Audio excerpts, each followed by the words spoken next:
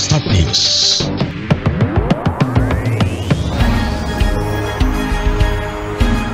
Start News, jendela informasi Anda. Dipersembahkan oleh Es kristal, es batu modern, higienis, praktis, dan ekonomis.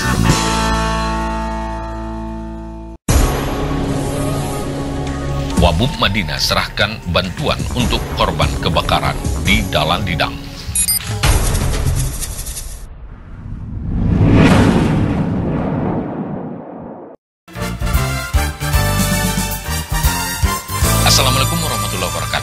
Rasanya kembali kami menjumpai Anda dengan menghadirkan berita terkini seputar bumi Kordang 9 Mandeling Natal dan Sumatera Utara. Beberapa berita ini telah disiapkan oleh tim redaksi Start News dan adalah informasi Anda semua layak jadi berita. Sebelumnya kita simak yang satu ini. untuk mengurus administrasi kependudukan di Dinas Kependudukan Catatan Sipil. Urus langsung tanpa perantara. Tanpa perantara. gratis. Gratis. Tidak dipungut biaya. Layanan masyarakat ini disampaikan oleh Dinas Kependudukan dan Catatan Sipil Mendeling Natal. Baik, kita mulai berita selengkapnya. Wakil Bupati Mandeling Natal Atika Azmi Utami Nasution yang juga menjabat Ketua Palang Merah Indonesia Mandeling Natal menyerahkan bantuan kepada tiga keluarga korban kebakaran di Kelurahan Dalal Lidang Kecamatan Panyabungan pada hari Kamis 4 Agustus 2022. Penyerahan bantuan dari Palang Merah Indonesia Mandeling Natal dan Dinas Sosial Mandeling Natal itu juga dihadiri Kadis Sosial Mandeling Natal Dedi Armansah, Kepala Dinas Pendidikan Mandeling Natal Lis Mulyadi, Kabak Kesra Bahrudin, dan Camat Panyabungan Miswar Husin Pulungan.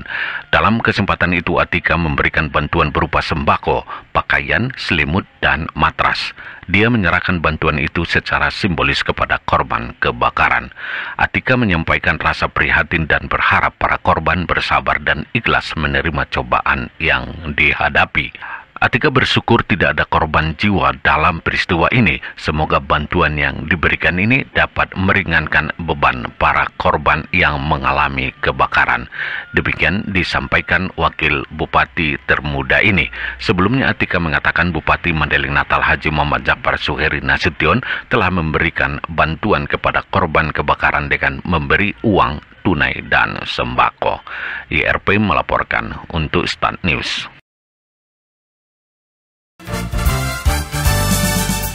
Pemirsa informasi tadi menutup perjumpaan kita di Start News edisi hari ini. Anda dapat mengakses berita terbaru kami di portal berita online di www.stadnews.co.id atau dapat menyimaknya secara langsung di live streaming kami www.statfmmadinah.com mewakili tim redaksi Start News yang bertugas. Saya Herdin Pasla Siregar mewakili tim redaksi yang bertugas undur diri dan mohon maaf. Terima kasih. Wassalamualaikum warahmatullahi wabarakatuh. Horas. Start News.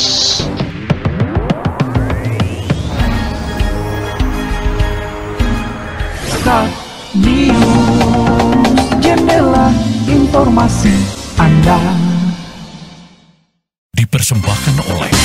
Es kristal, es batu modern, higienis, praktis, dan ekonomis.